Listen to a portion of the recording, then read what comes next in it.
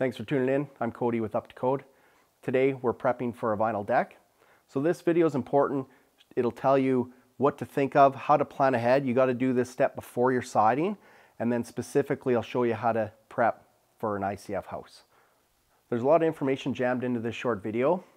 Like I said before, you have to make sure to do your vinyl decking before you do any sort of siding, and you'll see why. It's super important.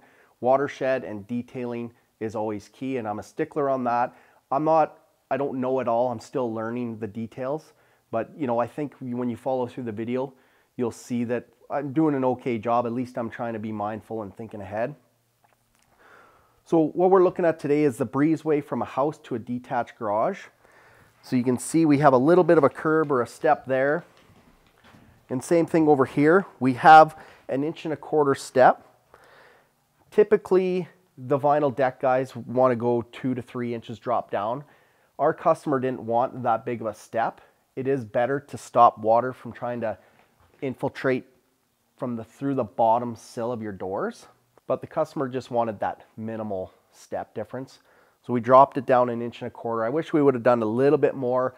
These are things that I'm learning along as I go is the guys are gonna want fir plywood to adhere to. So normally I would have dropped this two or three inches, whatever it ends up being, and then allowed for another three quarter inch fir decking on top of that. But we just weren't planning ahead quite enough. So today on my prep work for the ICF, it actually works out pretty good. I'll just be using quarter inch for good one side and that'll be good for the, the vinyl deck guy. One thing to keep in mind, this isn't Duradek. This is actually called Dec-Tec.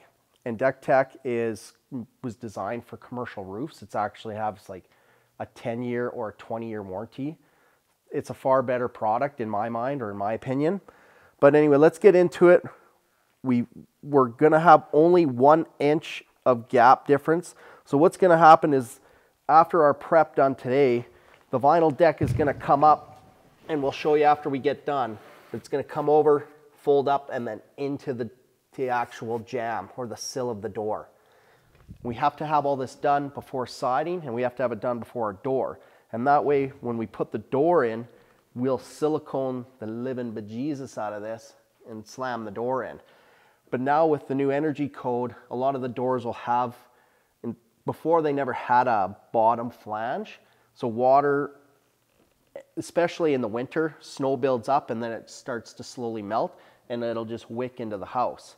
But now the new doors have a flange, like a window. So now this flange will sit up against there and we should be protected against water. Plus we're a covered breezeway. There'll be minimal snow or water in here, but you know, it's good to just think ahead. This is how we do the prep for an ICF. I just get these pieces of metal made so what we'll do, exactly how it's shown. I bend these at 85 degrees, so they're, they're spread open a little bit. That way when I tuck it tight into the inside corner, it holds tight against the wall. This has a hem on it. I'll show you on a piece that's not installed yet. And then I just shingle nail into the snap ties. I had to bend around the corner here just because I didn't have anything attached to here. So I just pushed in tight, nailed it there. I don't need very many for now. Once I go around and finish all those, then we'll do quarter inch plywood. And because it's quarter inch, we'll glue the living out of it, staple it. That'll cover the metal. And then when the vinyl deck guys come in, they can actually wrap up this wall and onto the metal. And that's how we prep for our ICF. Over here, we'll show you this in a minute. I want to get the flashing on, but we did some detail work. We did our building paper with some peel and stick on top just to protect the inside corner, but we'll show you how the rest of this goes. I've pre-cut this piece.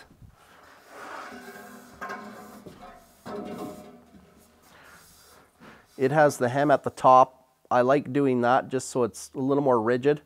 It doesn't buckle as easily. So this piece here is 5 8 plywood. And then this is later, but they'll put a drip cap that goes down two inches. This plywood's only 7 eighths tall. And that way they can set their drip cap to that edge. And then later when we do our siding, we can tuck up under his drip cap. Here, my building paper and my peel and stick are behind this. and I'm just trying to think about all my watershed, and I'll show you that after. So this cut piece will just go flush to this plywood. And like you see how I, I have to kind of force it into the inside corner, that's what I want. So I'll just tack this on.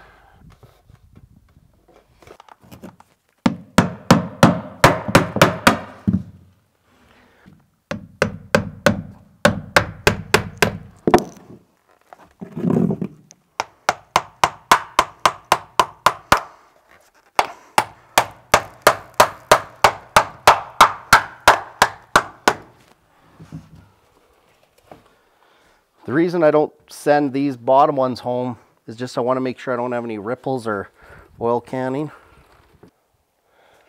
So you can see how I prepared this piece of paper and peel and stick here. And this is what it looks like all attached. I didn't do the greatest job because of the silly safety hand railing that's in my way. Jeez.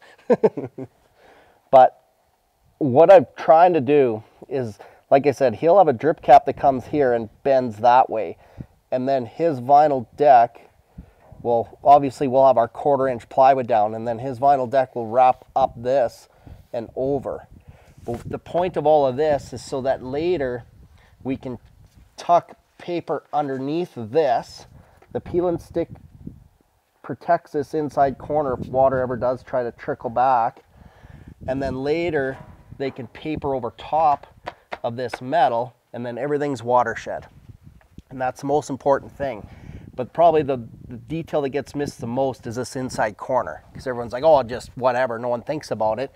But that's where water will trickle down and get into your building.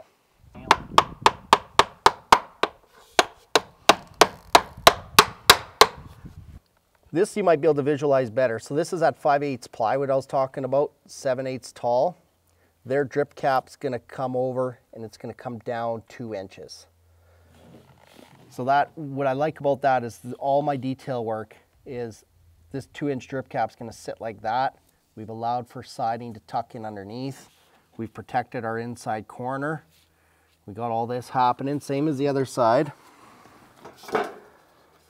I'm just gonna flush this to my rough opening here.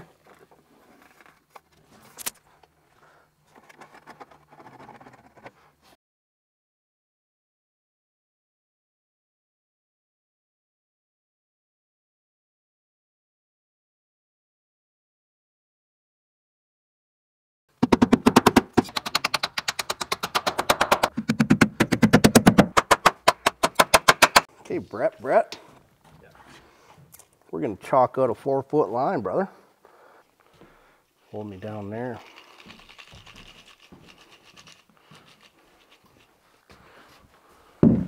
That's Brett. He's a first year apprentice. He's not allowed to stand beside me. He's too damn tall.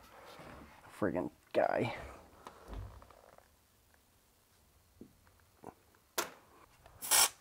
Whoa. Whoa fucking Brett.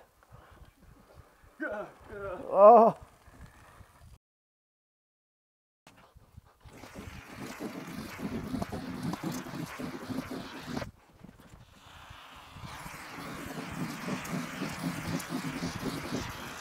Okay, Brett, set it on the line, brother.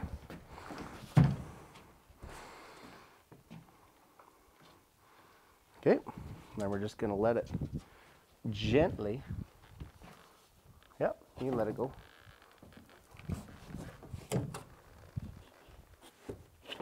Okay, grab that stapler, man.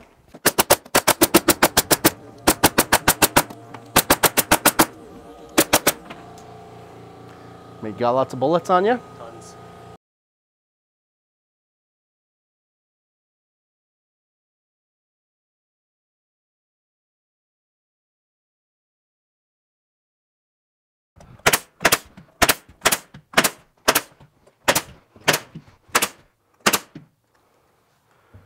Yeah, and then now just hold the trigger and then just. Oh.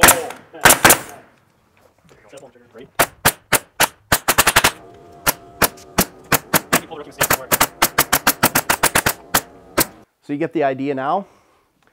Like I said before, be nice to have a little more height there, but The customer wanted it a nice sleek transition. We'll come back after all the vinyl's on and we'll show you what all the details look like. Right now I have to get prepared. I gotta keep this nice and dry now. So I'm actually gonna hang some tarps off of this fascia. Luckily none of this is finished. Drape this down, this is the west side because we gotta keep this really dry for two days before the, the vinyl deck guys show up. But we'll show you some more stuff as we roll.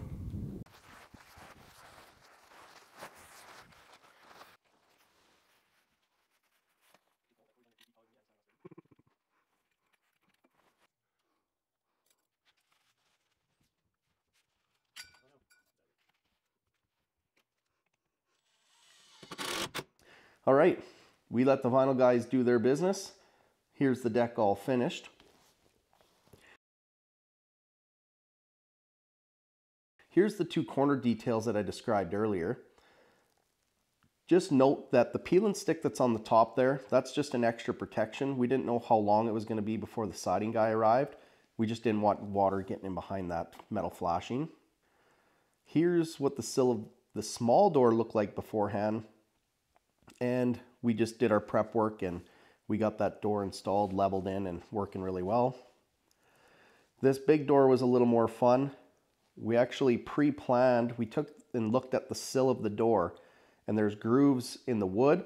So we chalked out lines to match where the wood would contact the sill and the vinyl decking. So, so basically, so the silicone made contact.